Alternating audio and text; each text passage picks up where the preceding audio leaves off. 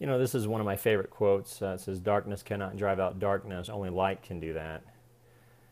Hate cannot drive out hate, only love can do that.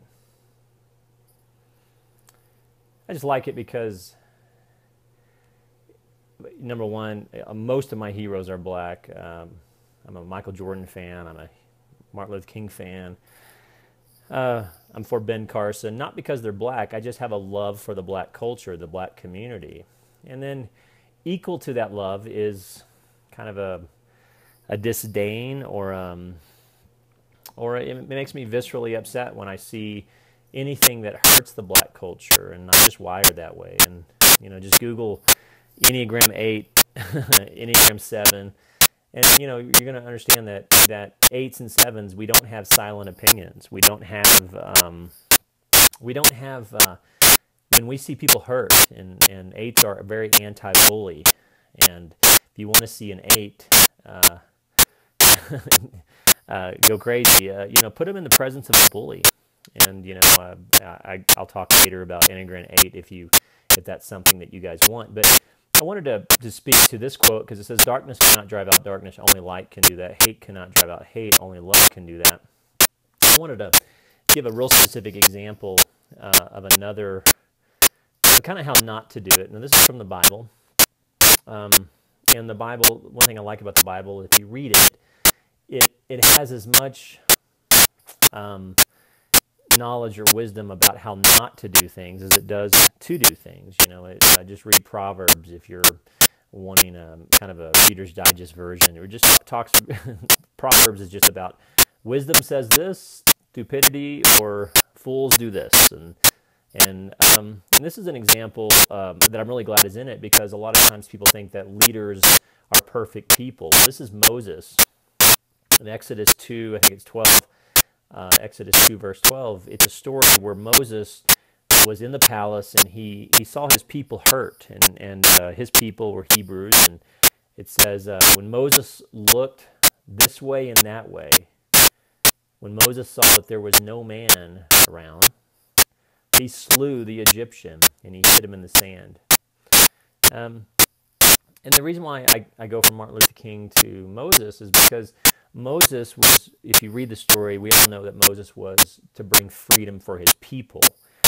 Um, and when he saw his people hurt and injured, it made Moses so upset that he even killed somebody. And I think it's interesting. He says he looked left and he looked right to see that nobody was there, and then he hit him. And there's so much in there about, you know, when we're when we're doing things that are evil, we're trying to hide things, we're trying to look this way and that way, and see who's around. But in this case, he slew the Egyptian and he hit him in the sand. Um, and I like that quote because is it shows how leadership is not supposed to occur. Moses obviously was called, but he wasn't. The way he handled this situation, I, I love the way Duane Sheriff, he's a pastor out, out of Oklahoma, he says, uh, you know, God had a plan for the Egyptians. It was called the Red Sea. The Red Sea was going to kill the Egyptians. Moses was supposed to bring freedom to his people and lead them out of Egypt, not kill them in Egypt. God was going to do the killing.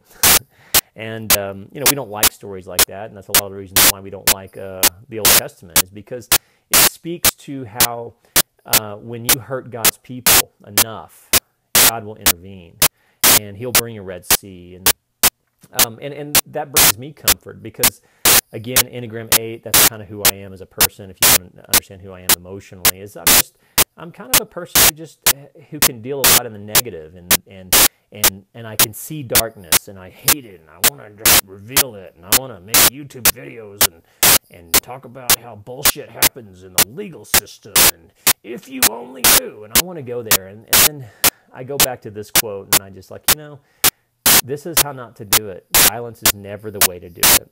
And that, again, going back to Martin Luther King, where he's like, "Hey, if you if you want to if you want to bring the darkness out, just shine the light, and only love can do that." I love how Thad Gillis uh, in his book talks about the only thing we have to change is love. And when we get confused, if we just take a moment to pause when agitated and just say, "Okay, you know, um, what what can I do that's loving and constructive?" Because focusing on darkness and fighting the darkness only makes more darkness. It's when we send love out, that's when darkness goes away. And let me show you a real life example, wrap this up. Um, I saw this today. This is uh, Sports Illustrated with Will Smith, and you know I love his. You know I love his. He's a wonderful actor. I mean I think he's one of the most. Uh, even though he's a top actor, I just don't think he gets the credit he deserves. I mean the guy started on a sitcom. How many sitcoms end up becoming, um, you know, major movie stars? I can only think of two. So two people out of. Uh, anyway, I'm a huge Will Smith fan, but he's talking about the NFL, and notice what it says here. It says uh, Will Smith shines a light on football's darkest corner and the future of America's game. It's by Ben uh, Reiter. Now, I love, love the way it says Will Smith shines a light.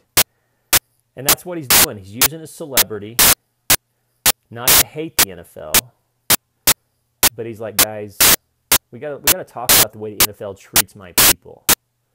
I just love that. It's such a great example of a modern day Moses. Um, let me go back to that. So that's the answer. No matter what you're going through in life, I know that's a cliche, but we all have struggles. We all have things that we're dealing with, that we're wrestling with. I have my things, you know. Um, you know, I, you know, I don't. I could make lots and lots of videos of the things that where darkness kind of, you know, uh, hems me in. But this is a reminder, and even Will Smith the Sports Illustrated that came in, just like you know, if you want to fight darkness, the answer is light, shine a light on it. And I also I like that because it, it doesn't. It, he's not advocating that we deny the darkness. And a lot of white culture wants to deny. Oh, you're bringing up the past and you're dealing in the 1960s. I'm like, yeah, what happened in the 1960s is still happening. I mean, look at Ferguson. Look at James Gardner. Look at all. I mean, so this is not deny the darkness. We have to we have to admit the darkness is there.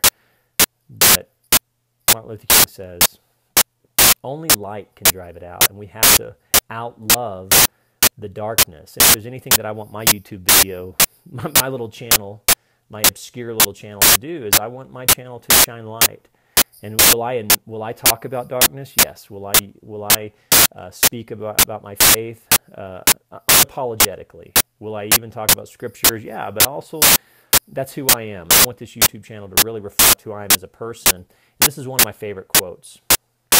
And it's just so applicable. In fact, test it. Next time you're in a conflict with somebody or you have some darkness coming in on you, just go back to Martin Luther King and says, okay, I could fight the darkness or I can shine a light. And that's the decision. And when we come into that awareness, that's when magic happens, when we start shining lights. Uh, thank you, Martin Luther King, for your life. Thank you, Will Smith, for your legacy. Um, and you know, there's a lot of uh, there's such a need for for um, for the black culture to stand with other the stand with each other. And when I see black people uh, defend themselves, it just makes me happy. So way to go, Will Smith, shining your light. Thank you, Martin Luther King. Have a great day.